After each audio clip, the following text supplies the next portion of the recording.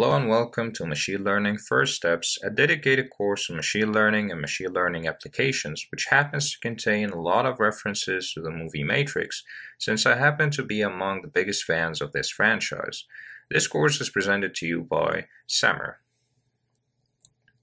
So, what exactly is machine learning? Scientists and fiction fans have always dreamt of a world where humans could interact with sentient machines or machines that could think for themselves. So, what the term AI means is artificial intelligence, and what artificial intelligence is, it's the ability of the machine to think for itself and execute tasks that, was, that it wasn't explicitly programmed to execute. So, that means uh, it is the ability of the machine uh, to think for a solution, for a problem, without being explicitly programmed to execute a set of definite instructions. However, AI is still confined to the works of fiction and was still so far away from actual AI up until this moment. So, where does machine learning stand? Machine learning is a subset of AI, or we can say that machine learning is the first step towards actual AI. So, what machine learning is, it refers to the ability of the machine to work on the solution of a problem or try to execute a specific task by introducing several training examples for this machine. So it means the ability of the machine to learn how to execute a specific task and hence the name machine learning. So why should robotics engineers study machine learning? Machine learning is implemented today in a lot of applications which happen to do with robotics. For example, we have autonomous robots like the robot provided in the picture, which happens to be an AUV, which is short for Autonomous Underwater Vehicle. So what this vehicle does is pipeline inspection for the oil industry. Also, it has some military applications like the detection of objects and landmarks and the manipulation of objects and fall detection. We also have another application, which is self-driving cars.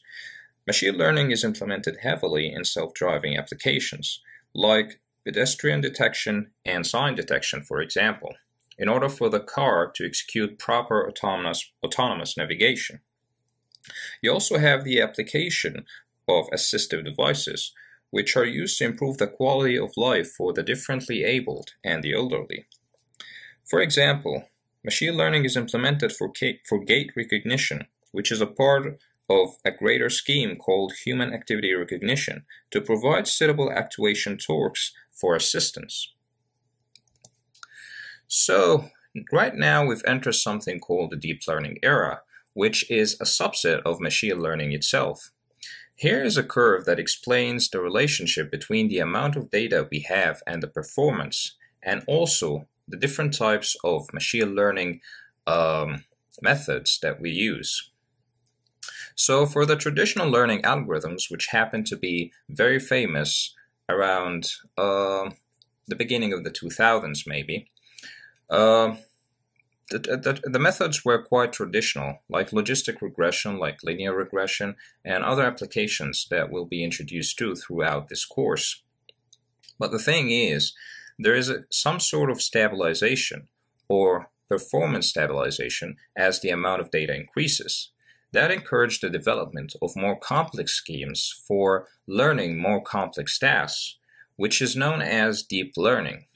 So by the introduction of these methods, and by the presence of huge amounts of data, thanks to the internet and collection of huge amounts of data from users, now we can embed these um, huge amounts of data into more complex schemes in order to obtain a greater performance. So, what exactly will we learn in these tutorials? We'll get introduced to basic machine learning approaches, which construct the very basic foundation of today's machine learning. We'll also get introduced to neural networks, which happen to have multiple types, as we mentioned before. We'll learn how to tune the neural network performance in order to get the best optimal performance that we could get for a specific task. We'll also get introduced to some deep learning platforms like TensorFlow. And the most important part, and where all the fun is concentrated, is the applications part, where we happen to work on several case studies related to machine learning problems. So right now I'll tell you to take the red pill and let's see how deep the rabbit hole goes.